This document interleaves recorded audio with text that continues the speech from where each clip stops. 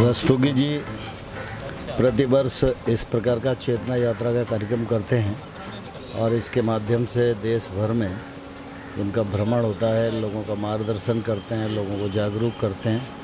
यह कार्यक्रम मैं समझता हूँ हम सबके लिए और अनेक योजनाओं का ठीक प्रकार से क्रियान्वयन हो, न्यू इंडिया का निर्माण हो, इस दृष्टि से बहुत ही उपयोगी है। आज फिर से रस्तोगी जी चेतना यात्रा की शुरुआत कर रहे हैं। यह यात्रा सफल हो और निर्विघ्न रूप से संपन्न हो। इसके लिए मैं ईश्वर से कामना करता हूँ कि रस्तोगी जी को ईश्वर का बहुत आशीर्वाद रहे और अपनी ओर से बहुत बहुत शुभकामनाएँ देता हूँ।